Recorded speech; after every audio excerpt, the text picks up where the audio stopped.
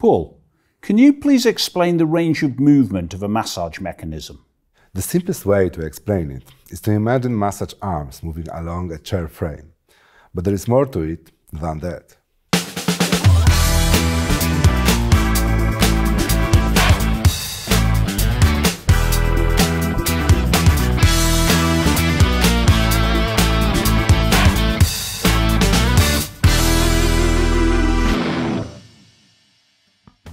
This is a well-developed feature in massage chairs. Manufacturers have worked hard to improve the length and the shape of this frame. Let's start by looking at the length of the mechanism. Some models only give a massage on the back from the neck down to the lumbar region, sometimes as low as the coccyx.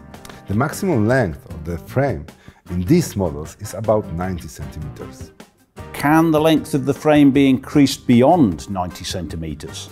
Yes, there is an L-shaped form of frame, which can be even as long as 130 centimeters.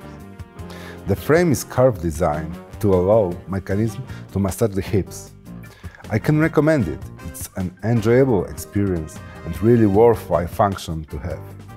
It helps to relax the hip muscles, which are important for our standing posture. I've also heard about SL shape. What's that? The SL shape is an additional carving on a frame, which resembles the natural S shape of the spine.